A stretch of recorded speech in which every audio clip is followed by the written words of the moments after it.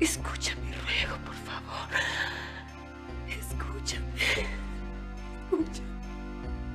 Vamos. Vamos. En usted está ayudar a su hijo a nacer. Vamos, vamos, señora, con fuerza.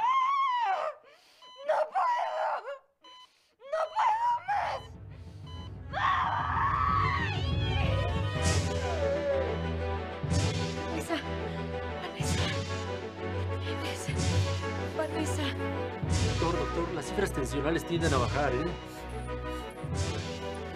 Vanessa.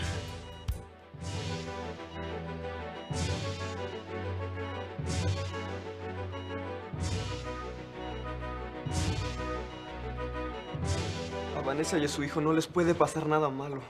Diosito y la Virgencita de Guadalupe los van a ayudar a proteger. Ojalá sea así, muchacho. Ojalá tus ruegos sean oídos en el cielo.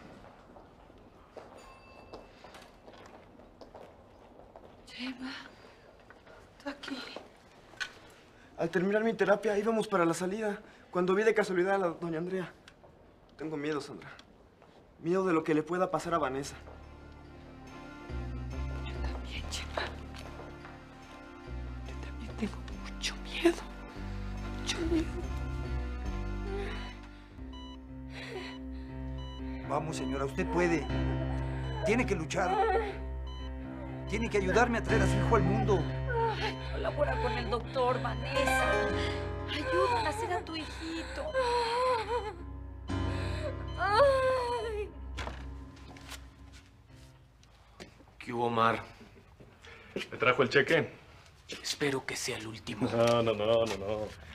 Nada de eso. Faltan muchos cheques más. Es mejor que no se niegue a dármelos, ni se atreva a traicionarme. Porque le repito lo mismo. Lo denuncio como el asesino de Rosana Valverde. Fue muy bonito el concierto de Enrique, ¿no? Y qué amable se portó conmigo. Sí, la verdad es que Enrique es muy simpático y canta muy bien. Sí. Pero a mí no me tocó camiseta, mi amor. Se acabó la magia de, de estas cortas horas de amor y tenemos que regresar a México.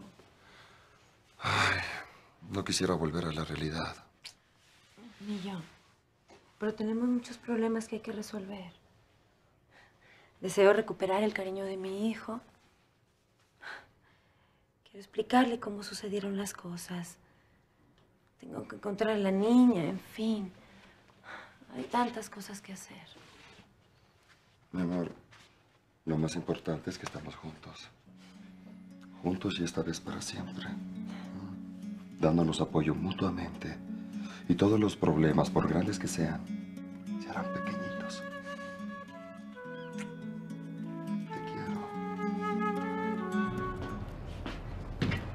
Te estaba esperando ¿A mí para qué? para exigirte que te apartes de Mimi. Para exigirte que te alejes de mi esposa.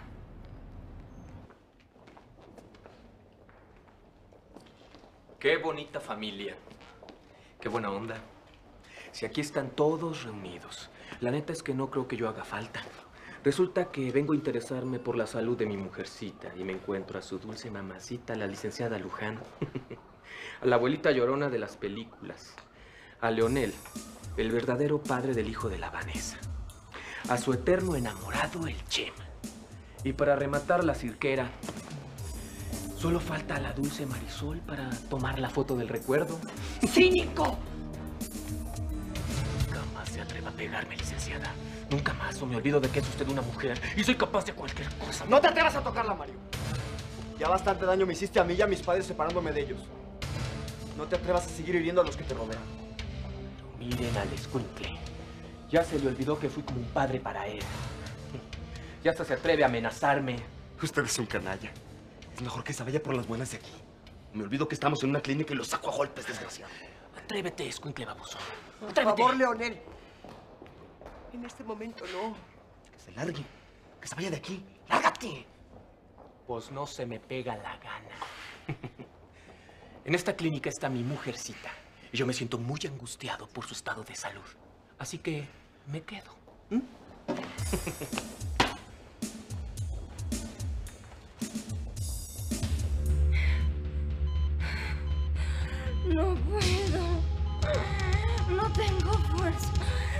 puedo. Tiene que poder, señora. La vida de su hijo está en juego. Ya le dije que la vida de mi hijo no me importa. Solo importo yo. Solo, solo importo yo. No hables así, Vanessa. Échale ganas, es tu hijo. Es sangre de tu sangre. No puedo. Ay, no puedo. Mimi es mi esposa y no te quiero ver cerca de ella. La verdad es que eres el tipo más descarado y cínico que he conocido en toda mi vida. Abandonas a Mimi por muchos años y ahora vienes a exigir derechos que no tienes. ¿Y quién eres tú para decirme esas cosas, eh? No te atrevas a empujarme otra vez, ¿eh? Me canso que sí. Cuídeme a Chacho. ¡Ay, se van a matar! ¡Estos son los Larry! ¡No se por mí, por favor! Raimunda, no seas ingenua, no se están peleando por ti, se están peleando por Mimi.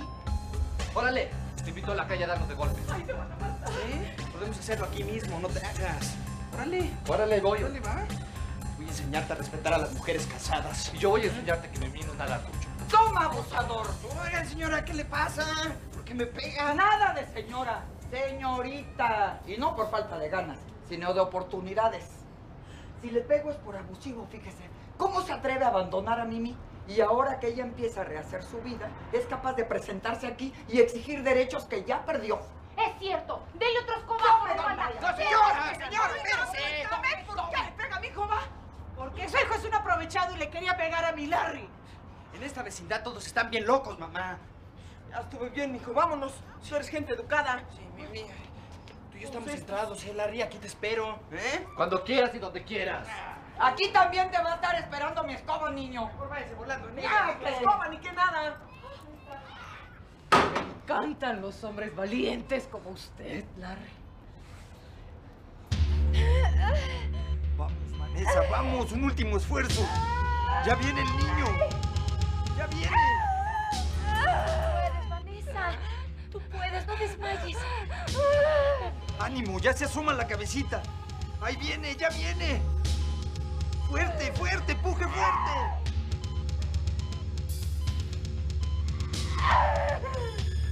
Gracias. Por favor, no se olvide de pasarle el mensaje a la señora Marisol. Se lo encargo mucho. Muchas gracias. Pues la neta, que ya me aburrí de esta espera. Parece que por fin la Vanessa se decide a heredarme todo. No dejen de avisarme con tiempo para pedirle a la sirvienta que me planche mi traje negro. ¿Mm? Nos vemos. ¿Eh? Se diviertan. Este tipo es un desalmado. Es que no lo soporto, mamá. Yo no puedo soportar que ese taxista me haya robado el amor de mi esposa. Es que no está bien eso de querer darse de golpes, hijo. Ay, ni llegué a tocarlo. Todos los vecinos se pusieron de su parte. Yo también me hubiera puesto de parte de Larry. Mamá, Pues sí, mijo. Aunque te me enojes, pero pues es la verdad. Larry es un buen muchacho. Se ha portado muy bien con Mimi. La quiere a la buena, hijo. En cambio, abandonaste. pero fue para superarme. Para poderle ofrecer a ella y a usted un futuro mejor. Fueron demasiados años, hijo. Demasiados años. El amor no se puede descuidar así. Aunque te lastime lo que voy a decirte. Si yo fuera mi, mi hijo, quedaría con el amor de Larry. Marisol, José Andrés, ya se retacharon para México. Sí, así es, Gelatina. Ya estamos aquí. ¿Y qué onda con la Piojito? ¿Lograron recuperarla? ¿Se la quitaron a la vieja horrible de la abuela? Esa señora se burló de nosotros. Nunca fue a Monterrey. Marisol y yo nos imaginamos que debe estar escondida aquí en el Distrito Federal. Ay, qué bárbaro. Marisol, qué sorpresa encontrármela aquí. Yo la hacía en Monterrey, Diosito la hizo regresar. ¿Por qué lo dice, doña Romalda? ¿Por qué está tan agitada? Mire, yo estaba en la farmacia de Don Cástulo comprando, bueno, no importa qué estaba comprando. Y de repente llamaron por teléfono desde la clínica donde chambean usted y la Mimi, Ajá. Bueno, ¿y qué dijeron? que su hija Vanessa está dando a luz. Y que tanto ella como la inocente criaturita se encuentran entre la vida y la muerte. Ya viene, Vanessa. Ya prácticamente su hijo está aquí.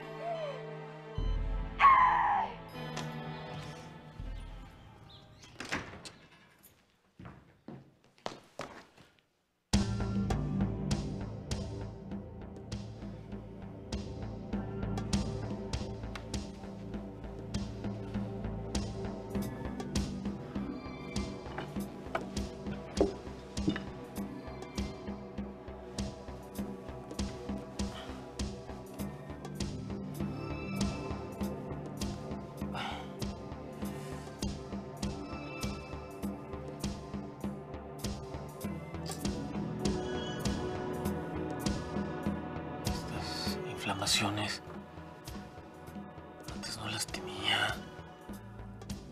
Esta espera interminable ni me va a volver loca. No puedo más. Yo estoy igual, Sandra. Marisol. Sandra, ¿Te dieron Sandra. el recado? Sí, sí, sí. Señora. Hijo, hay tantas cosas que tenemos que aclarar, pero lo haremos cuando pase todo esto. Bueno, ¿y cómo está Vanessa?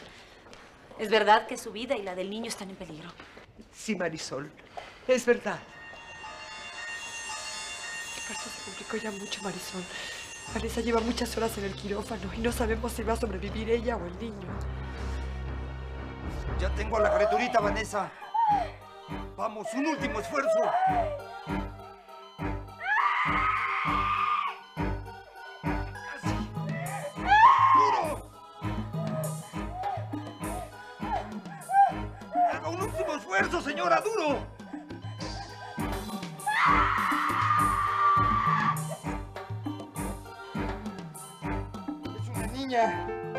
Niña.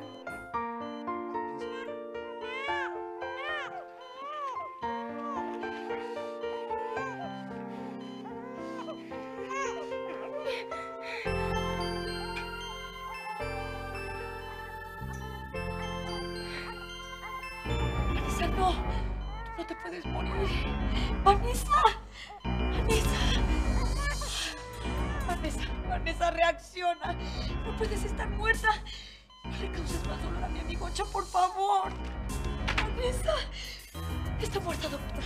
Está muerta. Dígame. Dígame, por favor. Está muerta. Dígame. Vanessa. Ya no puedo más con esta angustia. Me voy a cambiar de ropa para poder entrar a verla. Marisol, por favor, avísame si sabes algo. Por favor, avísame. Sí, sí, así lo haré. Despreocúpate, Gracias. Sandra.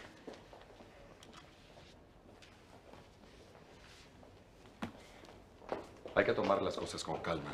Ya verán que Vanessa y su hijo van a estar bien. Dígame, dígame, doctor, ¿está muerta? Dígame. No, por el esfuerzo realizado se debilitó mucho. Se recuperará.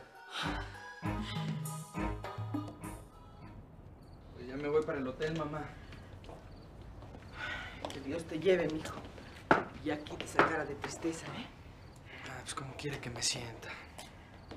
Regresé a México con la esperanza de recuperar a mi esposa y poderle ofrecer lo mejor de esta vida ahora que soy rico. Ya ve, llego aquí y me la encuentro enamorada de otro. Algunas veces en la vida cometemos errores que luego los pagamos muy caros. Nunca debiste abandonar a Mimi. Y si lo que querías era superarte, debiste habértela llevado contigo y no abandonarla por tantísimos años. No me lo repita más. Ahora comprendo que fui un idiota. No supe valorar a mi mujer. Dios, mijo, que descanses.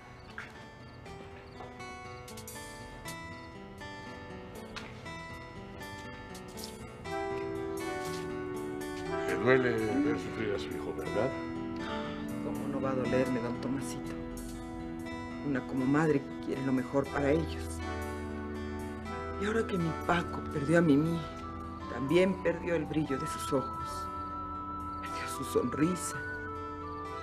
Haga un esfuerzo y no usted a perder la sonrisa. Porque usted pues, es un destello para este pobre viejo. Ay, don Tomás. Caray, ojalá yo lo hubiera conocido años atrás. El parto fue tan difícil que por un momento me asusté y pensé que la Vanessa se nos iba. Ay, no, Mimi, ni lo digas.